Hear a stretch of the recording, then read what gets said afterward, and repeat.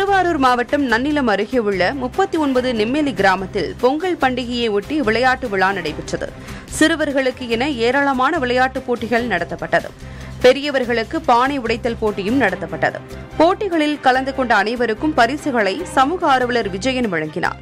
மேலும் எண்பது சிறுவர்களுக்கு நோட்டு புத்தகங்கள் இலவசமாக வழங்கப்பட்டது.